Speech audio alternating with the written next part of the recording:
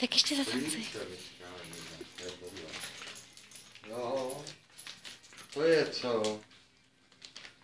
To je představitelka. Šikulka. Šikulka.